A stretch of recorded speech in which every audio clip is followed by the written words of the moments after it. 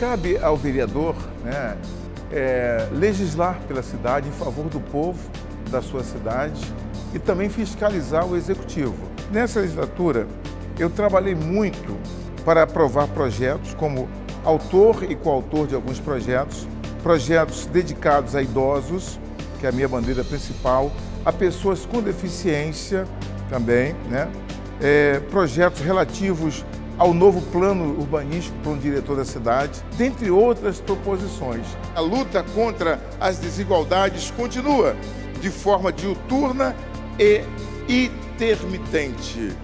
Eu desejo que a cidade venha crescer, que o nosso, nosso produto interno venha crescer cada vez mais, que haja é, investimentos nessa, nessa área de empregabilidade, novos concursos públicos também surjam, que se melhore a qualidade da, de trabalho para o servidor público, que esse também sofre muito com as mais condições, às vezes, que enfrentam no seu trabalho.